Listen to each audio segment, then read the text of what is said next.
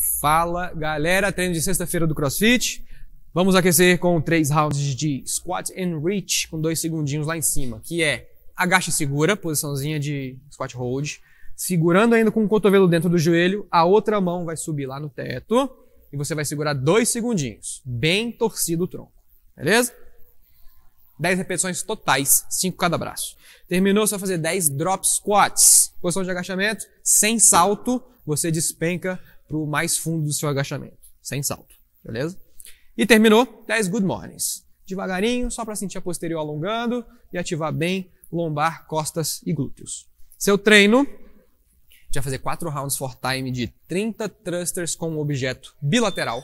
Então, com as duas mãozinhas, você vai segurar um em cada lado, agacha tudo que você consegue, estica lá em cima. Isso foi um, você vai fazer 30.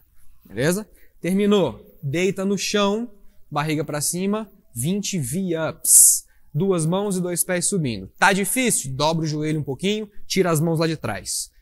Tranquilo? 20 repetições. Para fechar, 20 push-ups. Flexãozinha normal. Com o joelho ou sem, dependendo da sua necessidade. Beleza? Quatro rounds disso. 30, 20, 20. Mais rápido você conseguir. Bom treino. Qualquer dúvida é só mandar. Valeu!